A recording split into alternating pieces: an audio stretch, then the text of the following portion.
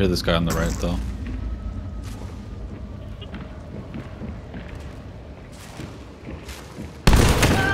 Killed one up here.